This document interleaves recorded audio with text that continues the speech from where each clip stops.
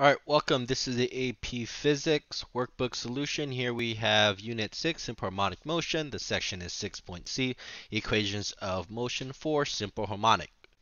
Here, uh, here's the scenario. A cart of mass m resting on a smooth surface is attached to an ideal spring. The cart is displacement to the right as the distance delta x from equilibrium and release. While the car oscillates around the equilibrium position, a motion detector collects data to make the following graph of position as a function of time. Before we read this, I would like to give you some notes.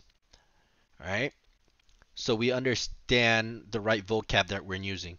The frequency is the number of cycles or the number of wavelength passing through a position in one second. The units of frequency is considered called hertz, which means one second. The wavelength is measured from peak to peak, so from here, peak to peak, or any, okay, so here it would be one complete, um, it would be considered one wavelength here, right? So springs are like waves and circles, okay? Um, here's one period. A period t is the time for one revolution, or in case, in this case, spring, the time for one complete oscillation, or one crest and one trough. One crest, one trough, and it comes back here to equilibrium. Okay, oscillations can be also be called vibrations and cycles. This is the amplitude from equilibrium to the maximum height is called the amplitude. Okay. Uh, as you go to the right, it's called the equilibrium. Um, it's in the equilibrium time. Period is defined as 2 pi over omega or 1 over f, which is considered the frequency. Notice time and frequencies are inverse of each other. Okay? A more interesting situation develops when we exert the same force on the system. It repeats in, re in repetitive periodic motion. This is the simple harmonic motion. Here you should see that it is fully compressed. Amplitude is its maximum height here at the amplitude. Here it's fully stretched, which is at its trough. Here do you see how it comes back to its original position? It completes its full cycle. Here, that's called T, the time it takes to complete one full cycle. A stands for the amplitude, F for the frequency, and T is for the period. Good. You're going to need these ideas to help you do this. If you would like a more detailed explanation on the notes, please watch the simple harmonic lecture notes. All right. So let's see how long it take for T for the period. So how long did it take for this to complete one full cycle? So it starts from here and it goes all the way until it reaches this. So it goes from 0 all the way to 4. So we could write here 4 seconds. Okay? Because this is its complete cycle. Now f is considered its frequency. So you can just write it right here t is equal to 1 over f. And we know that here it is 4. So you can write, you can make the substitution here. t equals to 4. Multiply frequency is equal to 1 fourth. You could also write that as uh, 0.25. The units for frequency is considered, like we said here, is called hertz, which is per second. So the frequency here is 0.25 hertz. So 0.25 of the wave occurred in one second. That's what this means. Now, W, which is which is its angular velocity. Okay, how do we get its angular velocity?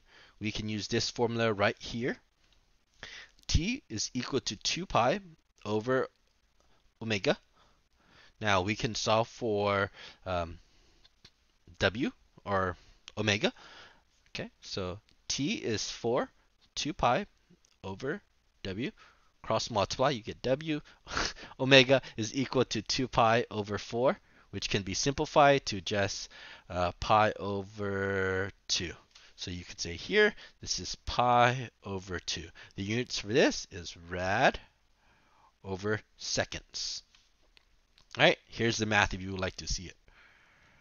Okay. Do you need to memorize this formula? No, this is actually given to you on your formula sheet. Here, the time of its maximum positive velocity, okay, positive velocity, right, would be right here. Okay, because again, this is when it's at equilibrium. So this is when it's at equilibrium. But this is when it's fully stretched, so it's right here. Then it comes back here to equilibrium. It's it's fully stretched here. It's fully stretched. Right here, fully compress. And this is at um, equilibrium right here. This is also at equilibrium. Okay. So here, the time of its maximum positive velocity would here would be at 3 seconds. Now, the time of its maximum negative velocity is where? Right here. It would be at negative velocity because look, look at it. This is its slope here is negative. The slope here, positive, right? Positive velocity. Negative velocity would be occur here at one second. Is this the only spot? Okay. It's also at right here. Do you see how this repeats? Right here. This, this, it's going down. So the slope here is also negative. So you could also say 5 at 5 second as well. The time when velocity equals to 0. Okay. So velocity equals to 0. So this is when velocity equals to 0. So think about this as um, flat slope. Okay, so let's let me make that green. Okay, we know that occurs where? Here at zero seconds. Okay, then we have it here at two seconds. Then we have here at four seconds. Then we have here at six seconds. Okay, these are all when velocity equals to zero.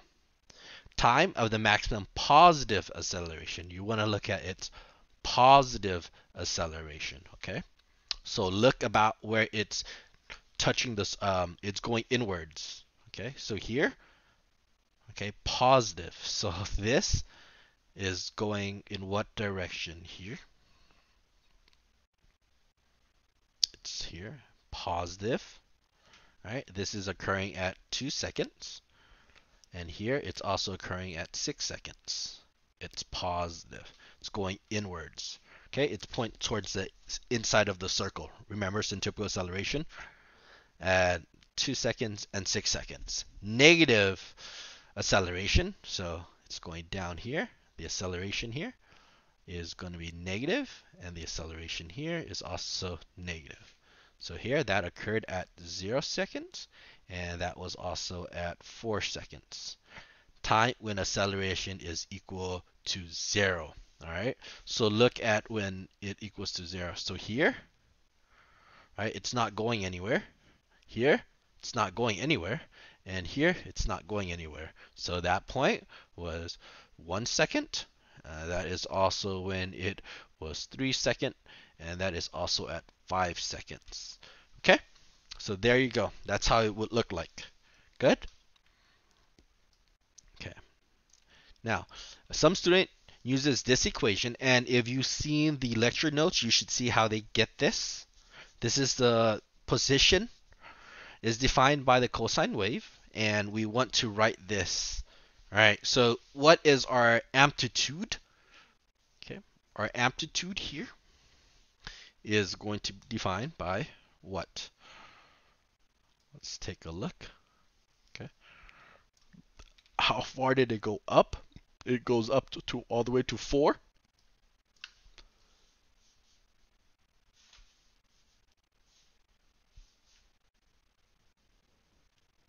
Two pi f was 0.25 or you can write that as um, 0.25, or you can write that as 1 fourth, however you want to write it.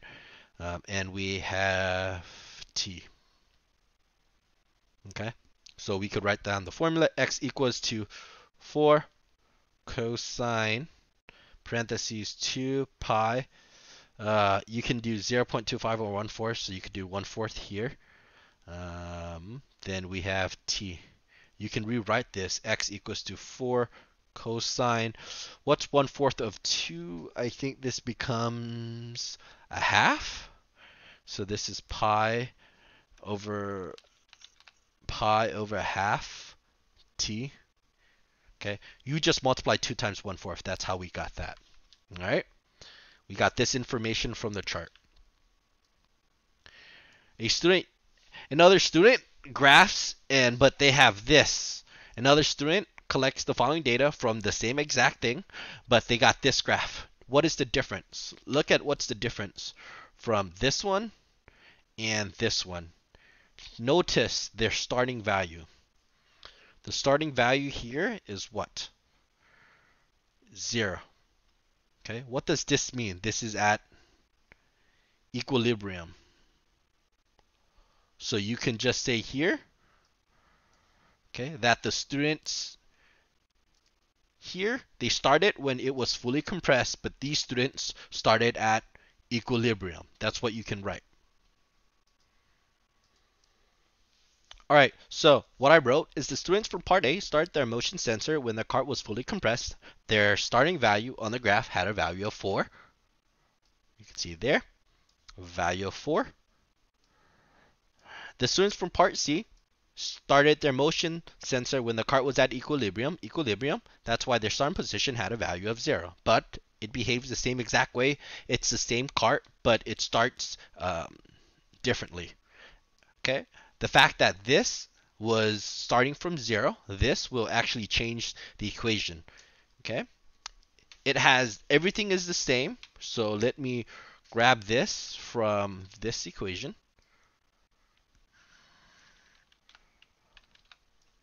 But it's actually no longer a sine. It's no longer a cosine wave. This is considered a sine wave. Okay.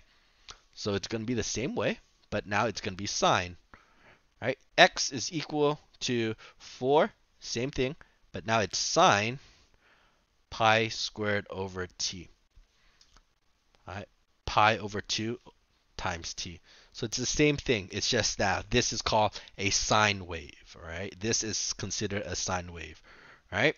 So now, the second group repeats the same procedure, thinking that perhaps if they add mass to the cart, it would help their analysis.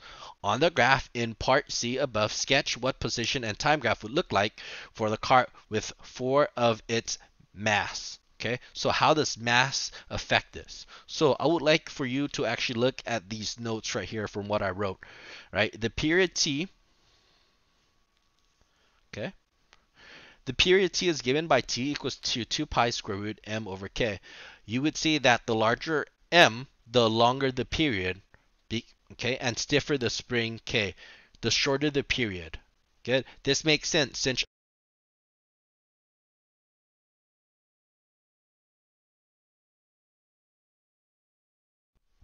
Okay.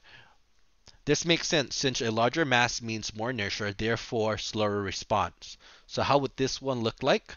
Okay. If m increases, what happens to the period? Okay. All right. Should look like this. Okay. So let's make this purple. So from this time, how does it look like? So it's going to start at the same spot. Okay. But now it's going to take longer for it to go to its trough, to its peak, because again, it has more inertia to move. Okay. Right. Then it slowly decay. Boom. All right. Again, why? It has a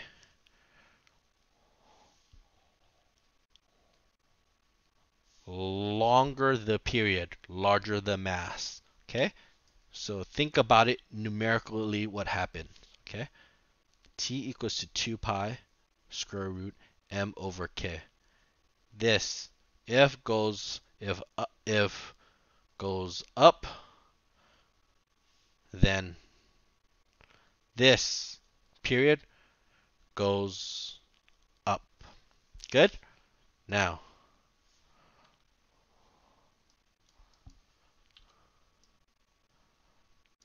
okay. So if mass increases, period increases. What about K?